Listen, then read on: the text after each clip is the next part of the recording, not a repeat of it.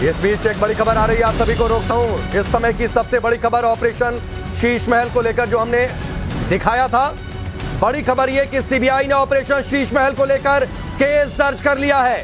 इस वक्त की सबसे बड़ी खबर, और जिस तरीके से खुलासे हमने जो किए थे, कि किस तरीके से लाखों के पर्दे लग गए, कमोड लग गए थे, तमाम धांधली हुई, मोरालिटी का बेड़ा गर्क हो गया जो देश के लोगों ने अपनी राय दी।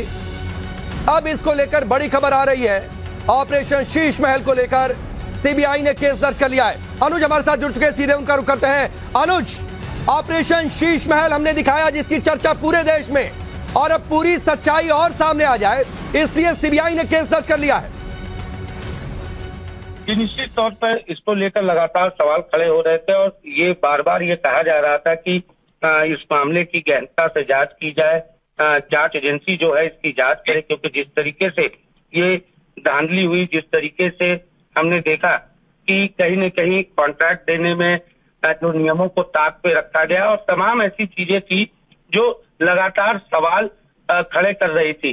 ज़ाहिर तौर पर सीबीआई, जो कि देश की नामी जाँच एजेंसी है, बड़ी जाँच एजेंसी है, वो अगर इस मामले की जाँच करती है तो निश्चित तौर पर दूध का दूध और पानी का पानी होगा। और इसी वजह से जिस तरीके से ये पूरा हमने ऑपरेशन दिखाया, हमने दिखाया कि किस तरीके से ऑपरेशन शीश महल में कैसे धांधली हुई, कैसे फाइलें जो हैं, वो रात के अंधेरे में गायब हुई, ये तमाम चीज़ें जो है, हमने ऑपरेशन शीश महल के कई पार्ट हमने लोगों के सामने रखे, लोगों को हमने दिखाया कि जनता का पैसे का कैसे दुरुपयोग हो रहा है